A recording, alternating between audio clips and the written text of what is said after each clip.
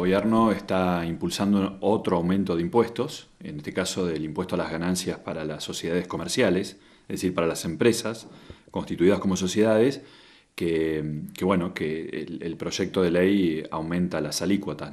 La última ley, votada hace tres años, eh, bajaba la alícuota al 25%, esa era la, meta final, eh, y acá se está planteando volver al 35%, o sea, una escala, hasta 5 millones de ganancias el 25%, hasta 20 el 30% y después el 35%.